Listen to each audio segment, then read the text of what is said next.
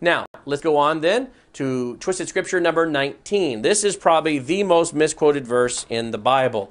Judge not, lest ye be judged. Matthew chapter 7, verse 1. Go over there with me in your Bibles, and here's what we read Judge not, this is Jesus speaking, by the way, judge not that you be not judged. Now, again, this is Jesus speaking, and uh, this verse is used again and again out of context. This is not saying that we are not to judge. This is saying how you are to judge.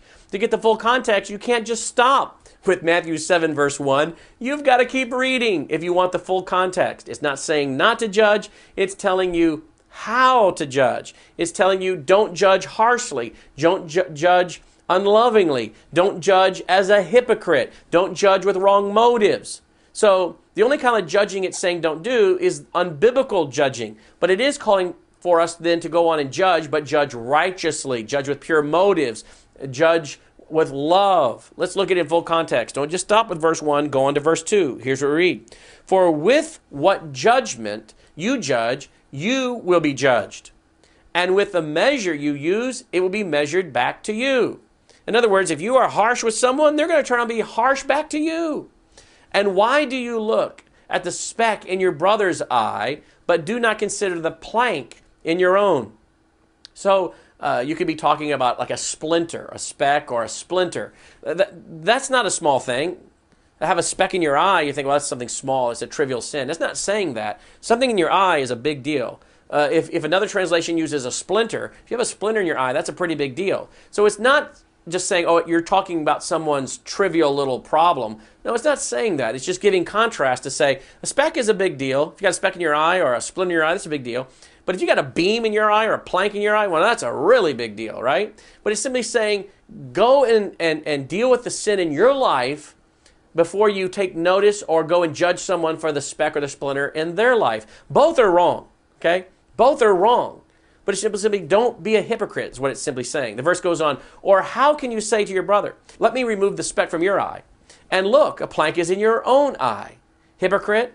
So, in other words, that's the word hypocrite. Don't be hypocrite. First, remove the plank from your own eye.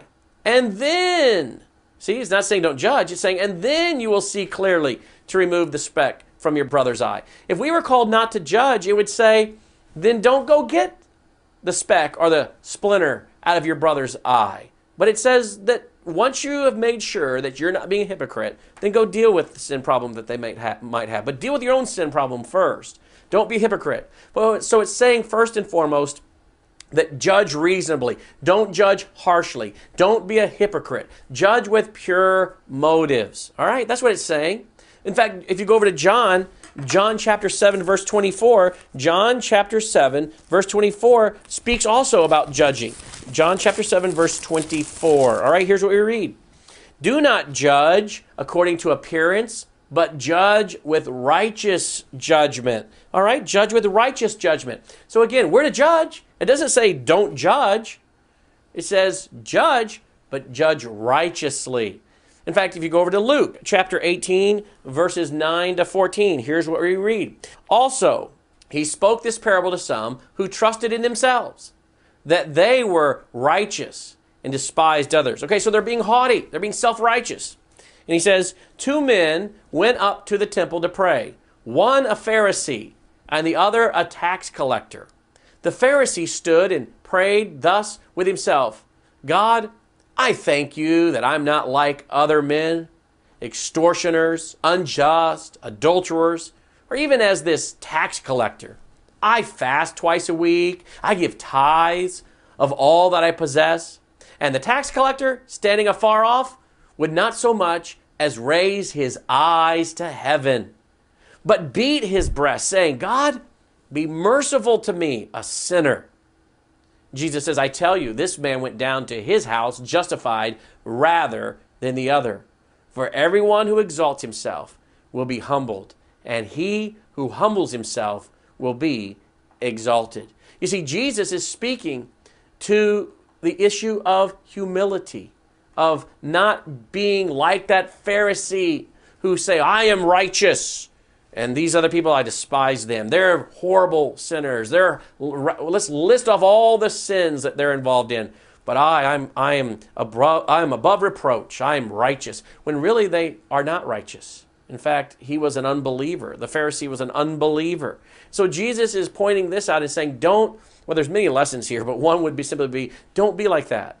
Don't be self righteous and condemn other people when you yourself need to look at your own life and examine your own life. And that's what the scriptures tell us, isn't it? To examine our own lives, our own life, and make sure that we're in the faith. Okay? In fact, we're called to judge truth from error. Matthew chapter 7, Jesus goes on to call certain people wolves, uh, uh, dogs, pigs, and wolves in sheep's clothing. He goes in to call certain people dogs, pigs, and wolves in sheep's clothing. That very same chapter, Matthew chapter 7. Another reason we know we're called to judge or to reason or discern that which is right or wrong, that which is truth or error, is because of many other verses like Romans chapter 16, verse 17, which says, Now I urge you, brethren, note those who cause divisions and offenses, contrary to doctrine, by which you learned, and avoid them. See what it's saying there? Note them. Another translation might say, mark them who cause divisions doctrinally and avoid them. Mark them. You got to identify them. You got to know what is truth and what is error. And then mark those who are causing these divisions or these offenses that are contrary to biblical truth, biblical theology, and doctrine, and avoid them. So you got to know who's in error, right? The Bible says there must be divisions among us to know who is approved of God. So we're called to mark error. We're called to point out error. We're called to distinguish truth from that which is not true. And to do that, you have to judge or you have to make a reasonable judgment or decision or have discernment to do that. In fact, when you look at the qualifications for an elder, we're told in the scriptures, these are the qualifications of an elder. These are not the qualifications of an elder. If someone is practicing this kind of lifestyle, if someone is exhibiting this kind of fruit, then they are not qualified to be an elder. Well, how do you determine if someone meets the qualities or qualifications of an elder? You have to judge, you have to reason, you have to discern.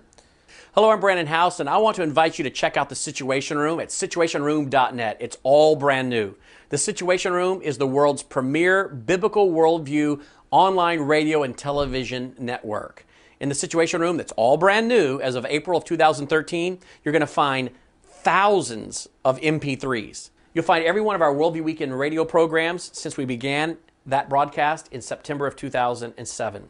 You'll also find every episode of the Worldview Weekend Hour television program.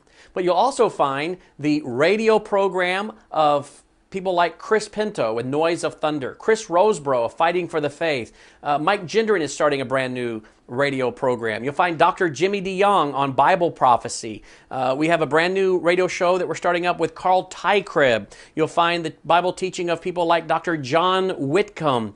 Uh, you'll find the teaching program of Pastor Jesse Johnson, and the list goes on and on. You'll find all of this at situationroom.net, MP3s, and then the TV shows as well that we have on our website. You can watch it on your iPhone, your Android, your iPad. You can watch it through what's called Roku, R O K U, Roku, or you can watch it through your Xbox on your flat screen television. Again, the Situation Room is over $25,000 and growing in biblical worldview resources MP3s, TV programs, DVDs, ebooks, audiobooks, and a lot more. Check it out, won't you? SituationRoom.net. That's SituationRoom.net, the world's premier online biblical worldview radio and television network, where members understand the times through a biblical worldview. So, Jesus in Matthew chapter 7, verse 1 is not saying don't judge.